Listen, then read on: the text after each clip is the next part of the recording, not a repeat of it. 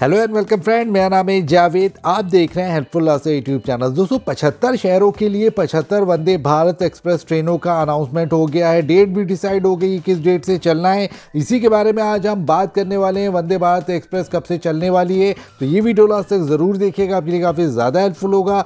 आगे बढ़ने से पहले प्यार बार रिक्वेस्ट अगर वीडियो अच्छा लगे तो वीडियो को एक लाइक और ऐसे ही हेल्पफुल वीडियो देखने के लिए चैनल को सब्सक्राइब ज़रूर कर लीजिएगा।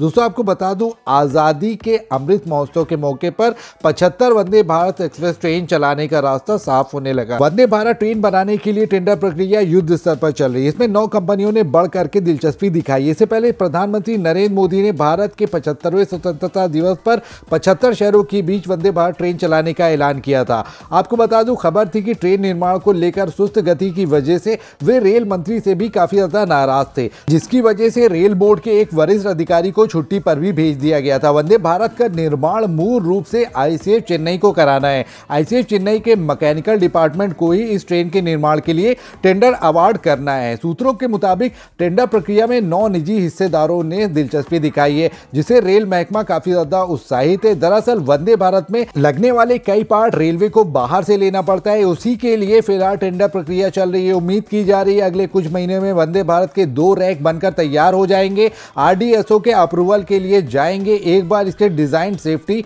टेक्नोलॉजी और बाकी चीज़ें को आरडीएसओ की मंजूरी मिल जाएगी तो इसका निर्माण युद्ध गति पर किया जाएगा। फ़िलहाल सौ वंदे भारत ट्रेन निर्माण को लेकर के रेलवे ने तैयारी पूरी कर ली है। इस ट्रेन का निर्माण integral coach factory, Chennai model coach factory, Raebareli और रेल कोच फैक्ट्री कपूरथला में किया जाएगा। फ़िलहाल भारत में दो वंदे भारत एक्सप्रेस ट्रेन चल रही है, जो कि दिल्ली से बनारस और दिल्ली से कटरा के बीच चल रही है। इसे भारत के सबसे मॉडर्न ट्रेन होने का भी गौरव हासिल है। दोस्तों, उम्मीद की जा रही है, पंद्रह अगस्त दो को पचहत्तर, वंदे भारत एक्सप्रेस ट्रेन पटरी पर दौड़ने लगेंगी। आपको क्या उम्मीद है? कमेंट बॉक्स में ज़रूर बताइएगा। ये अपडेट कैसा लगा, ये भी बताइएगा। अच्छा लगा हो तो वीडियो को लाइक, शेयर और चैनल को सब्सक्राइब ज़रूर कर लीजिएगा। मिलते हैं नई वीडियो में नई इन्फॉर्मेशन के साथ। Thank you so much for watching